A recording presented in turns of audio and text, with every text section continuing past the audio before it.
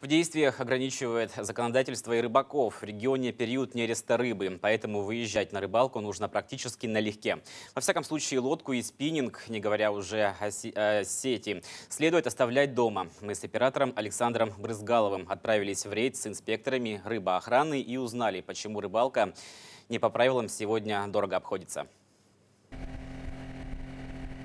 До 10 июня инспекторы рыбоохраны будут регулярно выезжать в подобные рейды по браконьерам. Через две недели в регионе закончится нерестовый период. Вот тогда, как минимум со спиннингом и с лодки рыбачить будет можно. Пока лишь только на донную удочку, только с берега и максимум на два крючка.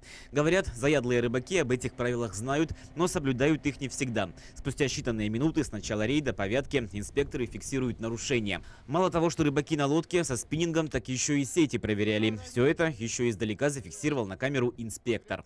Доставайте. Что рыбачить, отцепились? Ну а что это самое? Что выкинул ты сразу?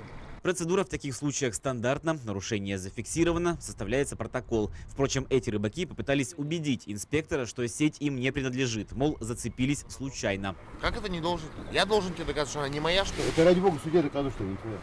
Ради бога. У меня есть видеосъемка, что за сеть держал. Ты эту сеть проверял. В любом случае, рыбачили кировчане не по правилам. На лодке и со спиннингом, что в период нереста рыб запрещено.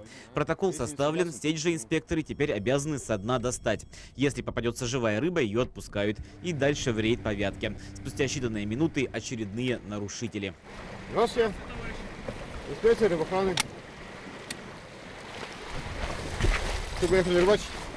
В лодке у кировчан опять же сеть. Значит, повод для того, чтобы составить протокол, имеется. Кстати, всем этим нарушителям придется существенно раскошелиться. Штраф за незаконную ловлю рыбы в период нереста от 2 до 5 тысяч рублей. И накладывается он только в том случае, если сумма ущерба, причиненная природе, составит тысячу рублей. Сумма ущерба считается от э, выловленной рыбы согласно такс. На каждый вид рыбы своя такса. Вот, допустим, густера, э, сапа по 100 рублей, судак 250 рублей, стелет 420 рублей. Как Каждая голова рыбы, независимо от длины, она имеет свою цену.